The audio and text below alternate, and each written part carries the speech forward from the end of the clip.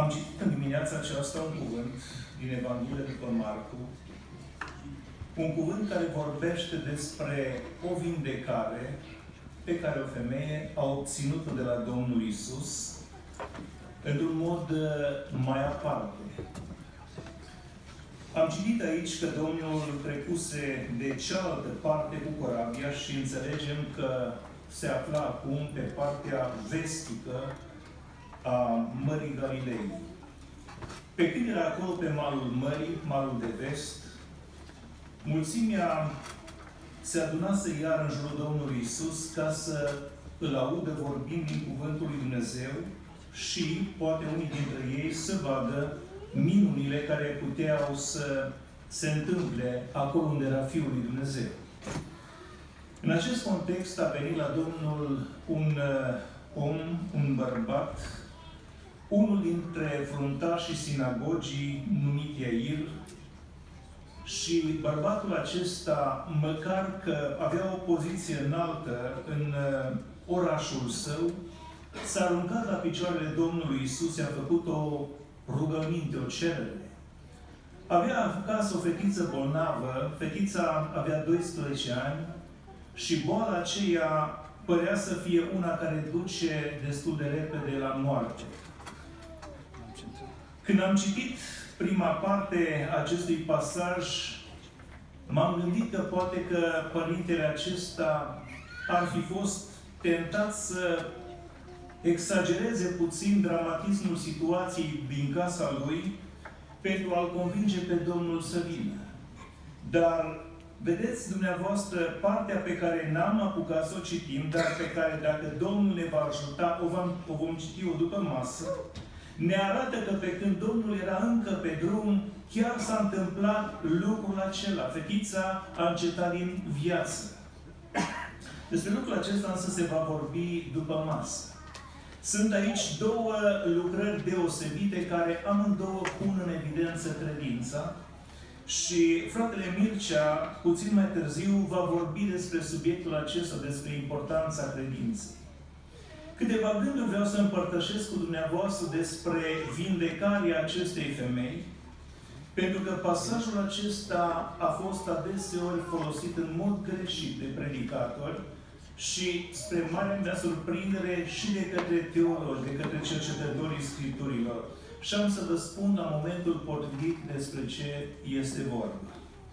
Destul că Marcu ne spune că Domnul a pornit la drum spre casa celui fruntaș al sinagogii, fusese solicitat să-și pună mâinile peste fetița acestui om și s-a dus într-acolo. Mi-aduc aminte că în primii ani, când începusem să vorbesc din Cuvântul lui Dumnezeu, uh, imediat după ce m-am căsătorit, într-o zi m-a abordat un frate, cred că se citise textul acesta în biserica uh, noastră, și m-a abordat după aceea un frate și m-a întrebat, frate, uite, în pasajul acesta sunt două lucrări pe care Domnul le-a făcut. Care dintre ele crezi că era cea mai urgentă? Care era cea mai importantă? Vă mărturisesc că am dat din colț în colț neștiind ce să-i răspund acestui om care, negreșit, știa Biblia mai bine decât mine. Însă, după ce am mai trecut o vreme, am dat și peste pasajul care te învață să te ferești de întrebările nefolositoare și să nu te lași prins în cercetările fără rost. Pavel i-a dat sfatul acesta lui Timotei. Sunt oameni care se ocupă cu cercetările fără rost și cu întrebările nefolositoare. Uh, specia asta de oameni n-a dispărut și nu va dispărea uh, până când Domnul își va duce biserica acasă. Ei vor rămâne aici mai departe, punându-și unii altora întrebări uh, încuietoare. Femeia aceasta despre care vorbește aici evanghelistul Marcu avea două probleme, de fapt, care porneau de la starea ei de sănătate. Una era această uh, starea trupului ei.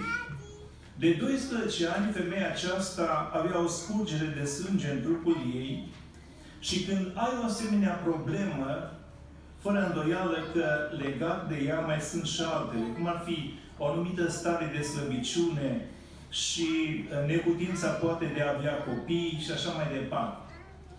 Dar pe lângă asta și poate mai grav decât asta era faptul că ea, din același motiv, era considerată drept necurată în virtutea unei prevederi din Cartea Leviticul, capitolul 15, versetul al 19.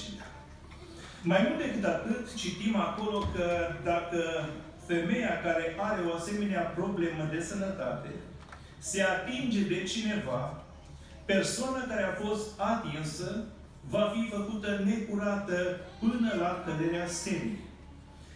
Asta înseamnă că persoana aceasta trebuia să evite întâlnirile la sinagogă, mersul la templu, eh, orice loc sau orice eveniment în care se adunau mulți și sigur că a fost din partea ei un act de curaj într-un anume moment să se strecoade în mulțimea care era în jurul Domnului Isus ca să capete vindecare.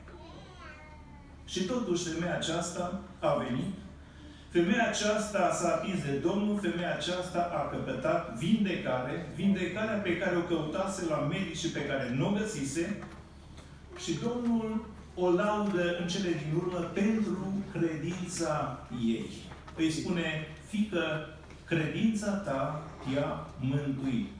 Du-te în pace și fii tămăduită de boala ta. Am auzit pe mulți predicatori venind și spunând că femeia aceasta îi reprezintă pe cei care aleargă întâi pe la medici și dacă văd că nu-și găsesc rezolvarea pe la medici nici cum și nici cum, în cele din urmă vin la Domnul.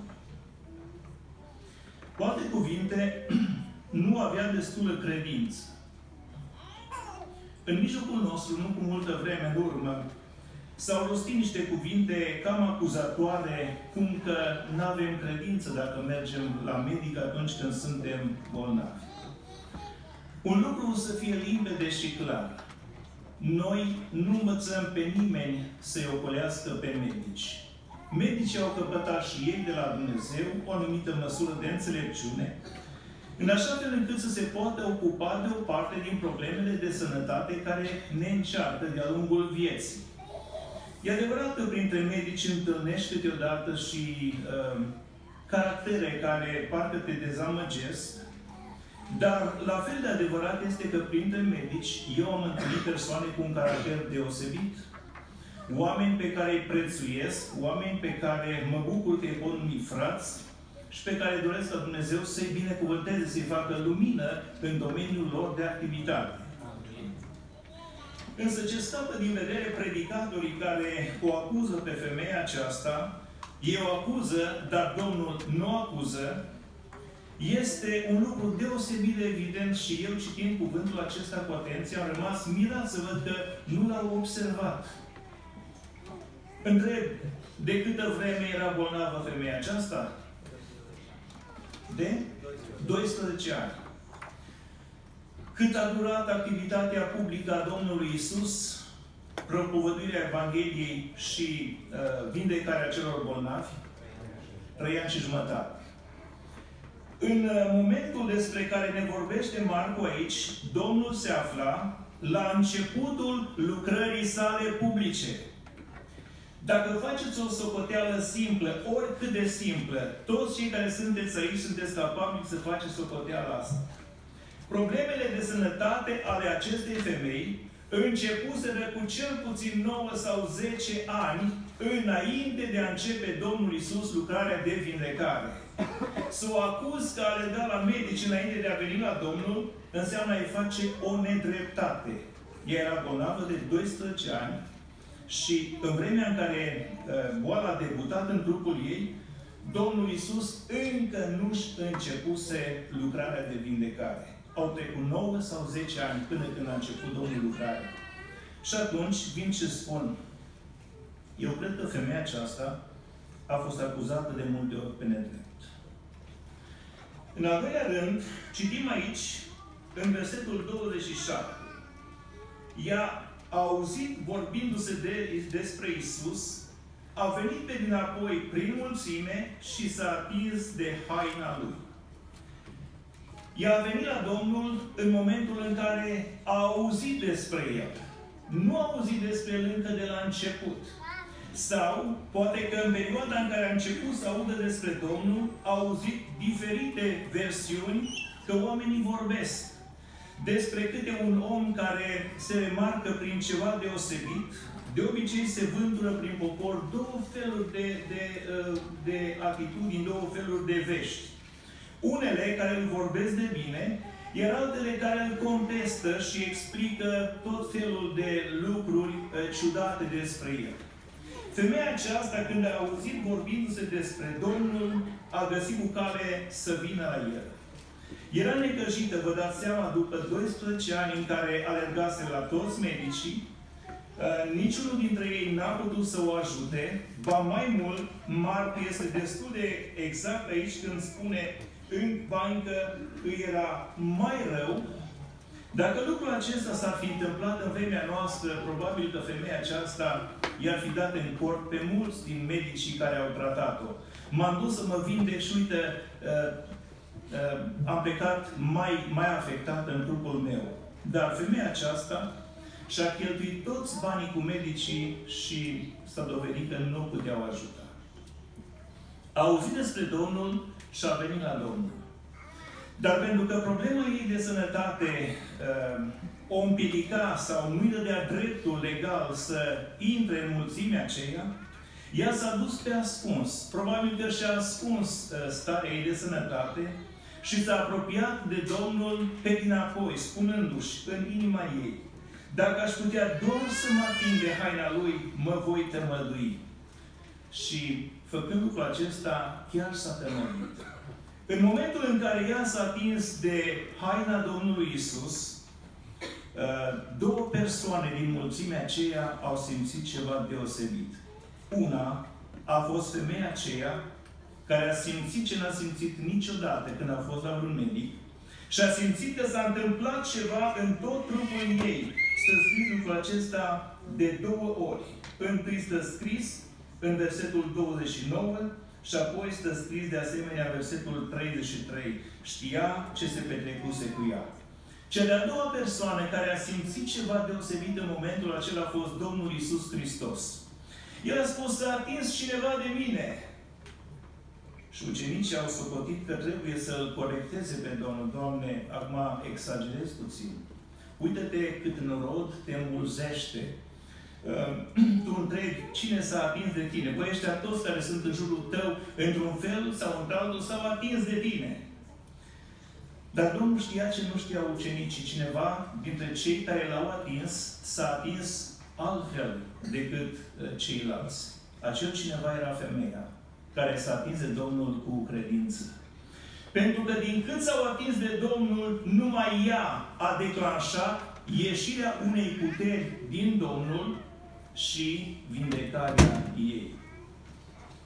Ce am vrut să spun cu aceasta este faptul că este foarte important să ne apropiem de Domnul. Amin. Este foarte important să căutăm prezența Lui, să stăm în prezența Lui. Este foarte important să ne atingem de El. Amin. Și este foarte important că ne atingem de El să o facem cu credință. Mântuitorul Iisus ar fi putut să-și continue drumul, să nu mai facă niciun caz de toată această întâmplare, dar Domnul stă mai departe și își aruncă privirile peste mulțime. Voia să-i dea femeii acesteia oportunitatea să iasă în față, să mărturisească. El care știa toate lucrurile, n-avea nevoie ca să spună cineva, eu am fost persoana care s-a atins. El știa deja. Dar când s-a uitat peste oameni, i-a dat femeia acesteia oportunitatea să recunoască ea însăși. Și cred că atunci când privirea Domnului Isus, plimbându-se peste mulțime, a întâlnit privirea acelei femei, femeia aceea s-a simțit cunoscută, ă, dată de gol. Și găsim scris pe ea, uh, înfricoșată și temurând, a venit de s-a aruncat la picioarele lui și a spus tot adevărul.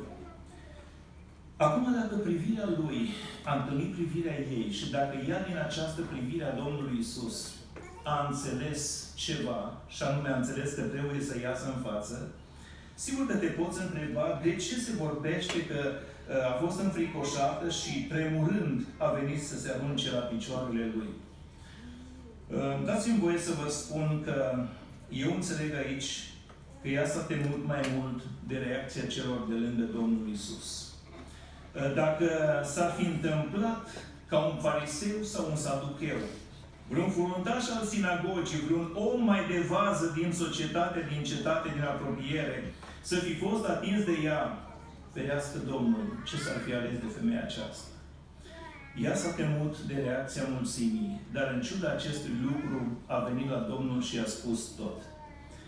Nici măcar n-a încercat să spună, Doamne, uite, eu am avut o problemă, că de multe ori noi ne ascundem sub mască un limbaj general, în termeni așa parcă ocolitori. Când auzi pe cineva, se vorbește prin popor, se zice că, se aude că. Parcă n-au curaj oamenii să spună, eu am auzit asta, eu mă gândesc la asta, spune, e bine sau nu e bine. Femeia aceasta a venit la Domnul și a spus tot. Și Domnul s-a uitat la ea cu seminătate și a spus, fică, credința ta i-a mântuit. Un ultimul lucru pe care vreau să-l amintesc, că s-ar putea frate Mircea să-l amintească și dumneavoastră la momentul potrivit.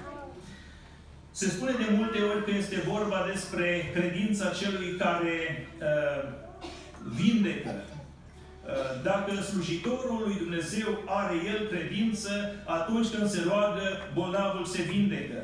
Și dacă slujitorul uh, nu are credință, ci doar o afișează, vindecarea nu are loc. Și mulți, dacă nu se vindecă, uh, dau vina pe slujitor.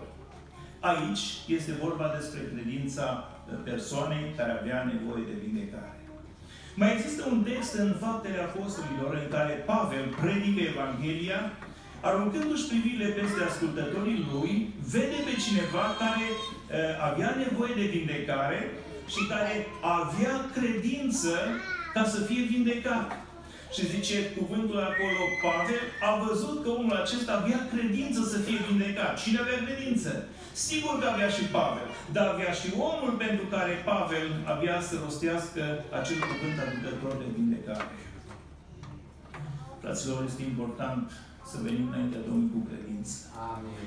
El are putere deosebită a avut-o întotdeauna. Petru în casa lui Corneliu predica și spunea că puterea lui Dumnezeu era cu Domnul Isus ca să vindece și puterea aceasta este și astăzi prezentă în Biserica Domnului Isus. De aceea să venim cu credință, să ne atingem de Domnul și Domnul să aibă milă de noi de toți. Amin. Amin.